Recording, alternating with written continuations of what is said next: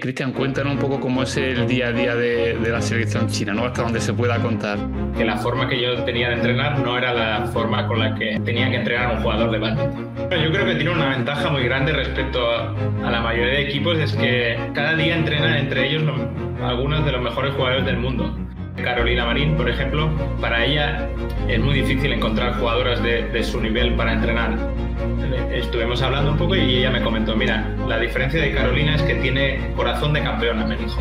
El equipo chino no cuenta con un psicólogo deportivo. La figura del psicólogo deportivo no existe en el badminton. En el 2018 aún estaban Lindan, estaba Chelong, estaba Li Sherei, que son de entrenamiento de preparación física en el badminton aún no está del todo profesionalizado comparado con otros deportes.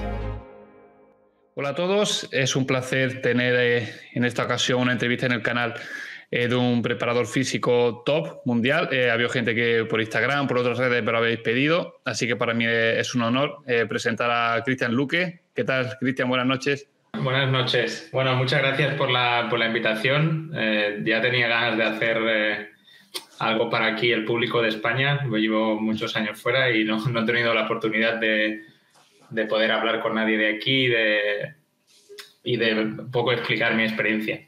Para quien no te conozca, sabemos que eres eh, preparador físico de la selección china de badminton, el mejor equipo del mundo eh, por tradición, por historia y por todo. Pero bueno, cuéntanos un poco eh, cómo llega un joven desde Mataró hasta, hasta China. Como, ¿Cuál es ese paso ahí? ¿Qué pasos hay intermedios para llegar hasta allí? Yo cuando acabé la carrera, en el 2008, empecé a trabajar en una academia de tenis. Eh, no sé si la gente conoce, la Academia Sánchez Casal, que se encuentra en Barcelona. Y de allí estuve ocho años, desde el 2008 al 2016 y en el 2016 eh, ellos abrieron una academia en China y me ofrecieron a mí ser el responsable de la preparación física en la, academia. Eh, y había un proyecto muy grande para hacer y entonces me interesó en ese momento a nivel personal y a nivel profesional. Entonces en, en el 2016 me trasladé a China, estuve un año y medio trabajando en ese proyecto, pero luego las cosas no salieron como nosotros esperábamos. Y yo tenía un compañero en la academia de tenis em, que, trabaja, que era chino, que trabajaba con nosotros, que entró a trabajar en, en la Federación de, de Badminton de China. Entonces, justo antes del Mundial de 2018, que se, celebraba en, se celebró en Nanjing, yo me encontraba en esa ciudad trabajando en ese momento y me comentó que había un entrenador del equipo chino que estaba eh, que buscaba un preparador físico y él le recomendó eh, a mí porque me conocía y habíamos estado trabajando durante un tiempo. Y bueno, empezamos a trabajar justo unas seis semanas, no me acuerdo, seis o ocho semanas antes del Mundial, eh, con las dos parejas de dobles mixtos y bueno, puedo decir que fue suerte realmente porque en, en esas pocas semanas no, no, nos dio tiempo a trabajar mucho, que jugaron la final entre ellos y fueron oro y plata. Eh, tengo entendido, Cristian, que en un primer momento tu eh, actividad iba a terminar en 2021, ¿no? Después de las Olimpiadas, pero bueno, lo cierto es que sigues allí a día de hoy. Eh, no sé, cuéntanos un poco qué te ha hecho tomar la decisión pues, de seguir allí trabajando con, con, el equipo chino de badminton. Bueno, no sé un poco cómo fueron las circunstancias, si era simplemente por contrato, si fue oferta que te hicieron. Sí, cuando acabé las Olimpiadas 2021 yo tenía claro que no quería volver. Habíamos pasado un periodo muy duro por la pandemia, que habíamos estado prácticamente un año y medio encerrados, eh, entrenando sin poder casi salir y, decidí que quería volver a casa y estar un tiempo sin hacer nada. Eh, eh, pero uno de los motivos es que mi pareja se encuentra en China trabajando. Y entonces, para mí era, era muy difícil entrar a China sin tener un visado de trabajo. Y mi idea era tener un visado de turista y ir de vez en cuando. Pero em, uno de los jugadores, Sensi Wei, con el cual tengo una muy buena relación, no solo a nivel profesional, sino a nivel personal, él me escribió durante varias veces, durante todo el periodo que, que estaba en España, que, que, quería que volviera a trabajar con él. Em, porque, había, porque él se sentía muy bien con el trabajo que hemos hecho durante este tiempo y que quería que le ayudara en el siguiente periodo hasta los Juegos de París. Y durante ese periodo él tuvo una lesión en la rodilla, bastante, no muy grave, pero que le impedía rendir al máximo rendimiento. Y entonces el acuerdo que llegamos es que yo iba unos meses y fui en el 2022, fui a Tailandia porque todo el equipo chino se, se trasladó a Tailandia porque por la pandemia no podían entrar en China, porque si no, no podían hacer ningún tipo de competición, entonces decidieron trasladarse a Tailandia y estuve cuatro meses con ellos trabajando en Tailandia y viajando a diferentes torneos. Y entonces, a la vuelta, estuve otro periodo de, desde final de 2022 hasta principios de, hasta febrero de 2023 estuve en España. Y en febrero de 2023 decidí que, que iba a trabajar con él hasta los Juegos de París. Pero realmente son dos motivos. Uno a nivel profesional, eh, a nivel económico, también tengo que decir que las condiciones que, se dan en China no, es muy difícil que se den en otro lugar. Y otro a nivel personal porque mi pareja se encuentra trabajando en, China. O sea, que me hace gracia porque seguramente Zensi Wei, para todos los que llevamos mucho tiempo jugando badminton, es como un referente, ¿no? Es un pedazo de jugador que seguramente destaque por eso en el apartado físico, sobre todo, pero claro, o sea, eh, yo me imagino que, te llama Sensiway y te dice, no, quiero que venga a entrenar conmigo y no sé, a lo mejor tú sí tampoco eh, no tienes esa trayectoria como jugador, pero aún así seguro que también lo tienes como referente, ¿no? Dentro del badminton. Sí, él es un deportista ejemplar y yo tengo muy buena relación desde el principio, conectamos muy bien, aunque discutimos mucho. A mí me gusta esa parte porque eh, él no solo hace lo que yo le digo, sino que es capaz de capacitar y preguntarse por qué y, discutir en el buen sentido de la palabra, es decir, eh, intentar buscar la mejor solución para todo el trabajo. Y hay cosas con las que estamos de acuerdo y otras cosas que no estamos de acuerdo, pero a mí me gusta ese tipo de jugadores que te cuestionen el trabajo y que te hagan preguntas sobre por qué hacemos el, trabajo que hacemos. Él, es un jugador que es un placer trabajar con él y, otra cosa porque a nivel personal tenemos una muy buena relación. Eh, Cristian, cuéntanos un poco cómo es el día a día de, la selección china, ¿no? Hasta donde se pueda contar, ¿no? Te hacía antes la broma, porque eso, eh, yo creo que desde Europa lo vemos que es como una selección así muy hermética, ¿no? Nadie sabe el trabajo que hace para que sean tan buenos, ¿no? Y seguramente, creo que, bueno, ahora no lo contarás tú, pero tú has sido, de hecho, el primer eh, no asiático, ¿no? El primer europeo que ha entrado allí a trabajar con ellos, ¿no? Por eso quiero que, me gustaría que nos contara un poco eso, cómo fue el primer día que llegas allí, eh, ese choque cultural, ese choque a la hora de, los modos de entrenamiento, un poco, un poco todo. Bueno, tengo una, bueno, yo tenía, tuve la suerte de cuando ya empecé a trabajar con ellos en el 2018, ya llevaba dos años trabajando en China, por lo que ya podía entender un poco de la cultura china. Pero hay una anécdota muy graciosa que el primer día de, trabajo que tuve con ellos, el primer día trabajé con las dos parejas de dobles mixtos, ellos llevaban, llegaban de una gira de, tres torneos, creo, antes del, Mundial, y entonces, justo después de llegar, eh, tuvimos la primera sesión. Eh, mi idea era un trabajo de, recuperación muy suave, primero porque yo no sabía el tipo de trabajo que, había, que estaban haciendo hace anteriormente porque venían una gira de tres torneos y entonces mi idea de trabajo era que hiciéramos unos días de recuperación y luego ya empezar a preparar realmente el mundial. Y el, y el trabajo que hacía el resto del equipo chino era un, trabajo muy diferente, con cargas muy altas, como si no vinieran de una gira de torneos, sino como si estuvieran un, un periodo de, carga muy alta. Entonces, cuando acabamos el, el entreno, el entrenador llamó al, chico, el que era mi contacto, a través del cual había entrado el equipo, y le dijo que, hablara conmigo para decirle que, la forma que yo tenía de entrenar no era la forma con la que, tenía que entrenar un jugador de badminton. Eso fue el primer día. Pero bueno, esto al cabo de, los días eh, yo intenté explicar eh, lo mejor que pude eh, por qué había hecho este tipo de trabajo, mi filosofía de trabajo, y al final no hubo ningún problema, pero fue sí, el primer día el entrenador me, me comunicó que, que, el trabajo era totalmente diferente a lo que yo había hecho. Qué bueno, o sea, entiendo que ya vemos que te ha ganado el, respeto y la confianza de, aquella selección, pero imagino que al principio te costaría por eso, ¿no? Porque son métodos eh, muy diferentes y al final creo que también lo comentabas en alguna otra entrevista, o sea, que si son los mejores también eh, algo harán bien, algo sabrán ellos, ¿no? ¿Qué punto hay, hay intermedio de decir, oye, hay otro tipo de, de métodos?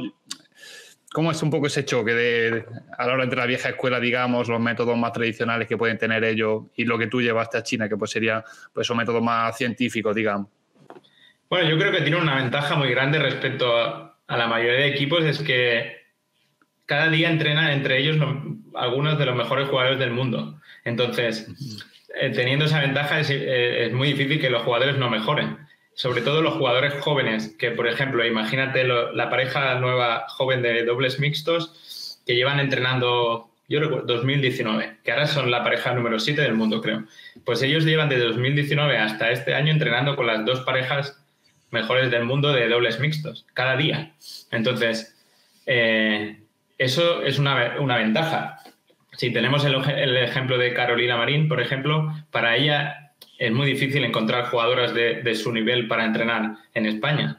Y China, el equipo chino es muy grande, eh, alrededor de, yo creo que son 10, 12 jugadores por categoría, eh, sobre, en dobles y de individual debe ser 5 o 6, que entrenan cada día y, compiten entre ellos, entre los mejores jugadores del mundo.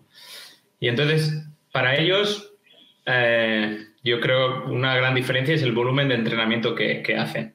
la diferencia es que ellos desde muy pequeños eh, el nivel de competitividad es muy alto. Ellos tienen diferentes grados de evolución hasta llegar al equipo, nacional. Primero el equipo de la ciudad, luego el equipo eh, provincial y luego acceden al equipo nacional. Pero para subir en cada nivel la competición es muy alta desde muy pequeños y la exigencia es muy alta. Entonces, cuando llegan al más alto nivel, eh, son porque son súper atletas y súper deportistas. Y a nivel de, entrenamiento, normalmente nuestra semana de entrenamiento son seis días a la semana. Normalmente es cuatro días mañana y tarde y, dos días mediodía. Normalmente dos horas y media, tres horas de sesión. Lo que hacemos nosotros, por ejemplo, no es eh, el trabajo de preparación física que hago yo con ellos no es fijo durante la semana, sino yo siempre me intento adaptar al trabajo que hacen en pista.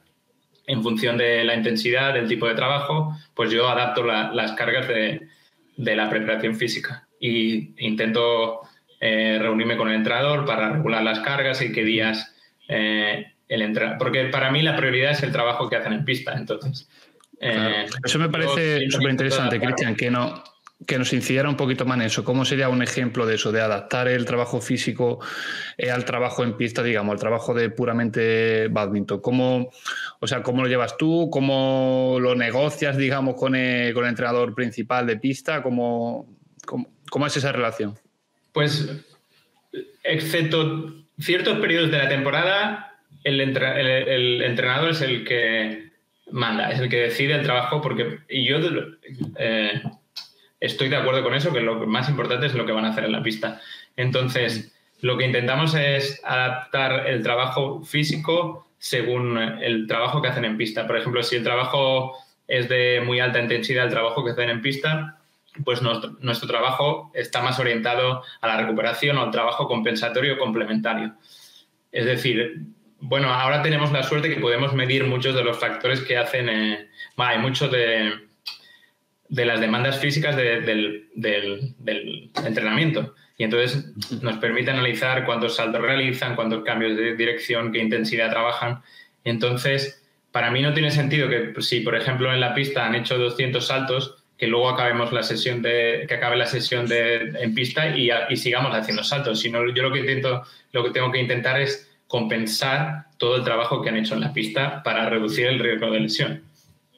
Y entonces las sesiones que ellos tienen un trabajo más orientado hacia la técnica o más baja intensidad es cuando yo puedo trabajar otras capacidades fuera de, la pista.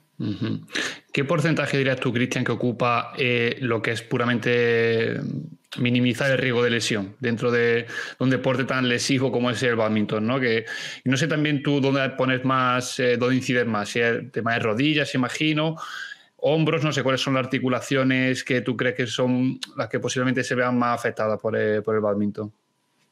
Bueno, yo creo que, por ejemplo, una de las herramientas que, utilizo yo es el calentamiento previo al trabajo en pista, tanto sea entrenamiento como competición. Entonces, por ejemplo, el trabajo que hago con SensiWay, yo tengo en cuenta las lesiones que él ha tenido y entonces hacemos un trabajo específico de, de preparación o activación acorde con donde pueda tener más riesgo de lesión. En su caso, anteriormente ha tenido algunos problemas en la rodilla, pues intentamos hacer más orientado a un trabajo de fuerza, un trabajo de estabilidad, un trabajo de aterrizajes, más orientado a proteger sobre las zonas donde él pueda tener más riesgo. En el caso de otros jugadores, pues haríamos otras, eh, por ejemplo, Juan Domping eh, siempre tuvo tendencia a tener eh, problemas de hombro, entonces su parte final de la activación era más orientada a la fuerza del hombro o la, o la estabilidad. Eh, comentabas también antes, Cristian, el nombre de, Carolina Marín. Eh, ¿Cómo percibes tú que, o sea, qué opinión tienen los chinos de allí, digamos, del badminton español y, bueno, más que del badminton español, de Carolina Marín, que al final es la, la mayor representante, ¿no? La que está ahí arriba a nivel top mundial. Pues yo sobre todo de, las chicas de individual femenino cuando entrenaba a Chen Yufei y luego durante un periodo también entrené a Hevin Chao y ellas le tienen mucho respeto. Eh, sobre todo tienen respeto de la, mentalidad que tiene ella. En el año 2022, cuando estuve cuatro meses eh, trabajando con el equipo chino, durante esos cuatro meses eh, estuve trabajando con Hevin Chao. Y la segunda ronda del Mundial en Japón jugó contra Carolina y en el tercer set, Hevin Chao iba ganando 20-16. Tuvo cuatro, cuatro balones del partido y al final le remontó y ganó Carolina. Y entonces, cuando, cuando acabó el partido, estuvimos hablando un poco y ella me comentó, mira, la diferencia de Carolina es que tiene corazón de campeona, me dijo, en la definición que me... Y, yo creo que eso, no, por ejemplo, Sensi Wei también lo tiene. Eh, tiene una mentalidad de ganadora que hace que en los momentos importantes del partido, cuando los partidos se tienen que decidir, tienen una ventaja sobre sus oponentes. Total. Hace poco recuerdo que vi una, no sé qué, ronda era, pero bueno, un partido que jugó contra la pareja francesa. Eh, y lo tienen casi perdido. Creo que era un tercer set también que iban perdiendo Way Y al final eso se le eh, terminaron remontando. Y eso es lo que dices tú, que se le ve al final ya no solo el, ese plus, ¿no? que ya no es el entrenar en pista, el estar muy bien preparado físicamente, sino ese plus de ya la, mentalidad, ¿no? ese fuego que le sale de dentro. Sí, sí, hay muchos partidos que cuando llegan esos momentos, yo digo momentos calientes del partido, que son capaces de mantener la, calma, cometer muy pocos errores, eh, que marcan la diferencia entre ganar o perder un partido en muchas ocasiones. Sí. ¿Eso allí lo entrenan de alguna manera? O sea, ¿tienen también sus psicólogos que eso lo, potencian o lo fomentan o no? Eso digamos que viene de serie con cada jugador. El, equipo chino no cuenta con un psicólogo deportivo. La, figura del psicólogo deportivo no existe en, el badminton y existe, ahora empieza a existir en algunos deportes, pero no, no es una figura que existe. Eh, verdad, y en China no, lo contemplan siquiera eso. Wow. no, no, no es algo muy, muy nuevo. Y entonces otra de las ventajas para mí es que los jugadores sienten que ellos pueden expresar cosas conmigo, por ejemplo, cuando yo estoy trabajando, que ellos no están acostumbrados, porque la figura del entrenador... Tú eres el psicólogo entonces. Exacto, me toca hacer de, esa parte, porque la figura del entrenador allí es una figura, es, el, el deporte es muy jerárquico, entonces, y no tiene esa cercanía como para explicar que pueda tener algún problema o los problemas que puede tener fuera del badminton o cómo pueden afectarle dentro. Y entonces, uno de los, del trabajo que tengo que, que hago yo con ellos es intentar hablar con ellos y que puedan expresarse. Qué bueno, qué interesante eso, no lo sabía, daba por hecho que sí que tendrían psicólogos eh, y demás. Pero eh, volviendo, eh, Cristian, antes que hemos hablado del tema de, Carolina, justo cuando estamos grabando esto, que estamos a martes, hace dos días jugó la final Chen Yufei con, con Carolina, que ganó Chen Yufei. Y recuerdo que en la, en la entrevista por partido Eh, decía Carolina que bueno, que el partido había sido muy físicamente muy duro y que Chen Yufei, pues básicamente lo que hacía era devolver todos los volantes. Eso de alguna, de alguna manera habla indirectamente bien del trabajo ese que hacéis, ¿no? Vosotros en el apartado físico, que son jugadores, jugadoras en este caso muy rocosas, ¿no? De puntos interminables, jugadoras muy, muy duras. Bueno, no solo en la parte física, eh, porque la, evidente, para mí todo el trabajo que hacen en pista no, no, no solo un componente técnico-táctico, sino un componente físico y un componente mental. Y entonces, eh, una de las ventajas o, ventajas o diferentes formas de trabajar que tienen los, el equipo chino es que hacen ejercicios de muy larga duración. Entonces, muchas veces hablando con los europeos, el tipo de trabajo que hacen es muy diferente. Ellos pueden hacer ejercicios de duración de 20-30 minutos. Si hacen este tipo de trabajo, por ejemplo, dentro del trabajo que puedo diseñar a nivel cardiovascular, para mí eh, no es tan importante porque yo creo que la mayoría del trabajo o la mejora cardiovascular la hacen en sus sesiones de entrenamiento, porque hacen mm, sesiones muy largas de entrenamiento con ejercicios muy, de muy larga duración, donde ya cubren las demandas eh, cardiovasculares que, necesitan para la competición. Eh, yo el trabajo que hago a nivel cardiovascular fuera de la pista es muy poco, solo en ciertos periodos de la temporada, porque yo considero que ya lo trabajan cuando están entrenando. Eh, o sea, digamos entonces de alguna manera que la explosividad, que en el modelo europeo tal vez se centran más en ejercicios cortos, tal vez un poquito más explosivos, y el modelo chino puede ser un poco eso, más eh, mantener ese esfuerzo alto el mayor tiempo. O sea, imagino también, Cristian, que estás en contacto con pues, preparadores físicos de otras selecciones, también dentro de badminton, cuando sales a torneo y demás. Eh, ¿Notas que haya mucha diferencia entre eso, el resto de, incluso allí de Asia, de los distintos países, ¿no? Indonesia, Tailandia, Corea? Incluso aquí en Europa, ¿crees que las preparaciones físicas son muy diferentes o que al final es un poco, en los principios son los mismos en todo, o sea, llevado a cada deporte? Bueno, pues Justo hace unos meses empecé a trabajar con un jugador de, dobles de la selección alemana, eh, Marvin Seidel, doble masculino. Empecé a trabajar con él a, distancia y tuve la, tenía la suerte de hablar con el entrenador, reunirme en los torneos con él. Y el tipo de trabajo que realizan ellos es muy diferente del que hacemos nosotros con el equipo chino. Entonces, como tú decías, el tipo de trabajo que se realiza más en Europa son series más cortas, de más alta intensidad, eh, con más periodos de recuperación y el, trabajo que se hace en la selección china es un trabajo más extensivo. A la hora de la preparación física es muy diferente la orientación que pueda tener el jugador europeo o el jugador chino, porque para mí lo más, el objetivo nuestro en cuanto a la, a la, preparación física es preparar al jugador para las demandas del entrenamiento y la competición. Entonces, si ellos entrenan de esa manera, yo tengo que entrenar a ese jugador para, para entrenar así. Pero a nivel físico, si hablamos de preparadores, preparadores físicos chinos, sí que tienen una forma de entrenar muy diferente a lo que podemos tener en, Europa o en América o en Australia. Tú has trabajado con deportistas de élite, también de otros deportes, y ya nos has comentado el tema de, del tenis. Tengo también entendido pues, que tu formación académica, digamos, estaba más orientada al fútbol.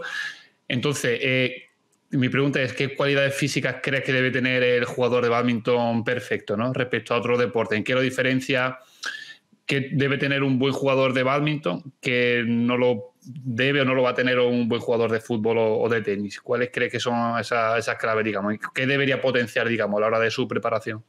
Bueno, yo creo que sobre todo, yo diría el aspecto como la velocidad pues yo creo que cada vez el badminton tiene tendencia a acciones más rápidas y explosivas y de, más corta duración y la capacidad de recuperarse entre esfuerzos. Es decir, la duración de, un punto, eh, normalmente los, los eh, dobles masculino o mixtos no es muy extensa. Entonces, el objetivo del jugador es que pueda realizar acciones explosivas desde el primer punto hasta el último sin bajar su rendimiento, que sea capaz de recuperar entre los puntos.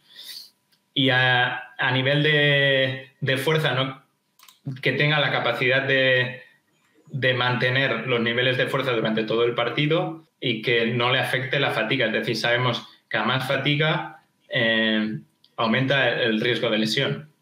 Entonces, nosotros tenemos que preparar al jugador para que pueda realizar eh, aterrizajes, lanches, saltos eh, y que las capacidades neuromusculares le permitan que pueda rendir al máximo rendimiento y además que no, tenga un alto riesgo de lesión al final del partido. Normalmente las lesiones ocurren cuando hay más nivel de fatiga al final del partido. En los dobles es velocidad de movimiento y la velocidad de, toma de decisiones, porque ellos tienen muy poco tiempo para decidir, porque no es solo poner el, volante en el otro sitio, sino poner el volante en el lugar adecuado. Eh, me acuerdo de hace un par de días también cuando estuvimos hablando que me comentaste que estuviste con Lindan, ¿no? Lindan, que también otro de los jugadores más míticos que mucha gente de los que estemos escuchando esta entrevista lo conocerá. Y no sé si él eh, trabaja de alguna manera también con la selección, colabora o fue un poco de paso. No sé, cuéntame un poco cómo fue ese encuentro tuyo con él. Bueno, yo, yo cuando empecé en el 2018 aún estaban Lindan, estaba Chelon, estaba Lee Sherey, que son unos jugadores increíbles, y Lindan ya se encontraba al final de su, de su carrera deportiva.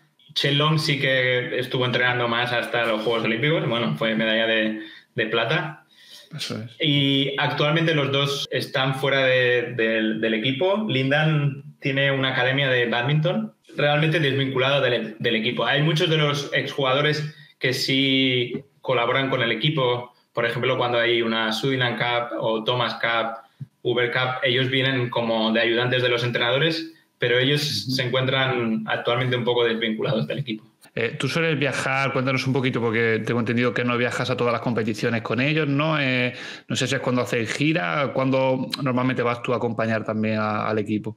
Bueno, realmente para mí el trabajo que se hace durante la competición no es tan importante porque el objetivo de la competición es, el, competir. Entonces, el trabajo que hacen es descansar, ¿no? Básicamente. y recuperación.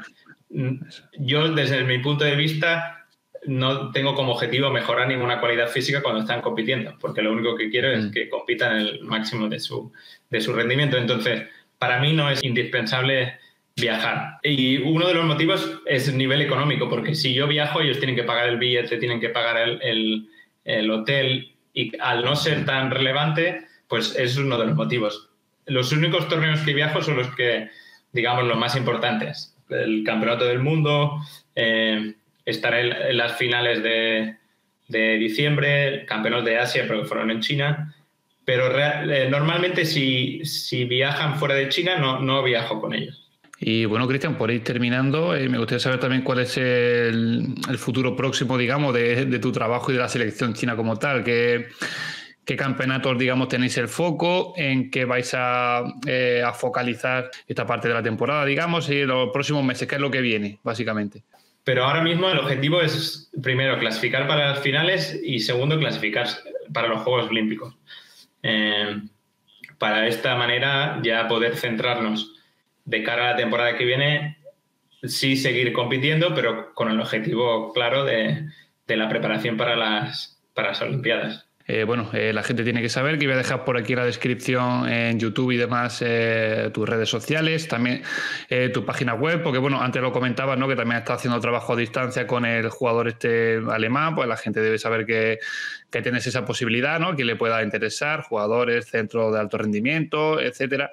Y bueno, por hacerte también un poco la, pregunta de ventas, ¿qué crees que puede aportar eso a distancia? Que también hay hoy día que se puede hacer prácticamente todo a distancia, ¿no? ¿En qué crees que puedes eh, ayudar a eso, a un, jugador que no esté en el contacto diario contigo, digamos, o a un centro de alto rendimiento que tenga que manejar varios jugadores y quiera optimizar esa, preparación física? ¿Qué crees que les puedes eh, ayudar? Bueno, yo cuando, después de los Juegos Olímpicos que decidí volver a casa, quería seguir eh, vinculado de alguna manera al mundo del badminton y pensé que una de las formas que podía ofrecer es todo el tipo de trabajo online. Primero porque yo creo que a nivel de entrenamiento de preparación física en el badminton aún no está del todo profesionalizado comparado con otros deportes. Y entonces, eh, lo que quería es como ofrecer eh, toda la experiencia que yo tenía y, y, conocimiento para intentar ayudar de una manera a desarrollar el badminton a un nivel más profesional como existe en otros deportes. Eh, entonces, lo que yo hice fue, a través de una plataforma que ya existe, de la cual tú puedes crear tu propia aplicación, grabar ejercicios que los jugadores podían realizar desde su casa o desde un gimnasio y poder tener un seguimiento con ellos y darle un plus a, su entrenamiento. Porque, bueno, como he dicho, no todos, no en todos los equipos nacionales o no todos los jugadores se pueden permitir el, tener un preparador físico de viaje con ellos, el tener un, preparador físico en el día a día. Y entonces es una moneda de poder ofrecer a todo ese tipo de, jugadores un servicio para que puedan complementar su trabajo que hacen, para que puedan ver otra forma de entrenamiento y para, para que puedan eh, mejorar su rendimiento, desde mi experiencia. Y de otra manera también poder ayudar a clubes o, o equipo nacional para dar mi visión sobre el entrenamiento, para desarrollar un sistema de trabajo para la mejora de, los jugadores que se encuentran ahí. Y lo que el trabajo que hago con este jugador, por ejemplo, es nosotros hablamos cada día y yo me reúno con el entrenador una vez con semana, hacemos videollamada y lo mismo, lo mismo que hay aquí, pero la diferencia es que no estoy presente. Entonces, según la planificación que tiene durante la semana, yo adapto mi trabajo y en el día a día, según el trabajo que ha hecho, cómo se siente, si tiene alguna molestia, pues intento adaptar el trabajo cada día para que pueda desarrollar las sesiones. Pues genial, Cristian. Por mi parte, nada más. Eh, creo que ha sido súper interesante. Creo que la gente que te conocía menos, que me da la sensación de que la última, los últimos meses, sobre todo, te estaba conociendo mucho más gente, ¿no? No sé si también porque te habían visto por ahí y porque eso, porque tus jugadores al final estaban teniendo buenos resultados, pero creo que mucha más gente te conocía en España, pero seguro que ya puede a partir de esta entrevista. Quiero pensar que eso, que a la gente le va a resultar interesante, que lo va a ver y, nada, pues van a saber que tenemos ahí un representante español en, el equipo más, más, top y más legendario del badminton como es el equipo chino. Así que, por mi parte, nada más, Cristian, eh, desearte toda la suerte. Espero que, que estemos en contacto y que pues, vayamos teniendo eh, noticias tuyas de, cómo se va desarrollando tu trabajo. Y nada más, que, estás por aquí más que invitado en, esta modesta página para, cualquier cosa que se te pudiera ofrecer, ¿vale? Perfecto, pues muchísimas gracias a ti por, la entrevista, ha sido todo un placer y por supuesto, sí, espero que de aquí a unos meses podamos hablar otra vez y, pueda explicar un poco de todo el trabajo que hemos ido haciendo y cómo está la situación actual del equipo y de los jugadores. Perfecto, por lo dicho, Cristian, muchísimas gracias y hasta pronto. Gracias, hasta luego.